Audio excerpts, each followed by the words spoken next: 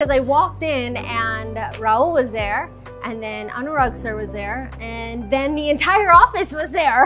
but um, I really wanted to prove myself, and um, we did the audition, as scary as it was.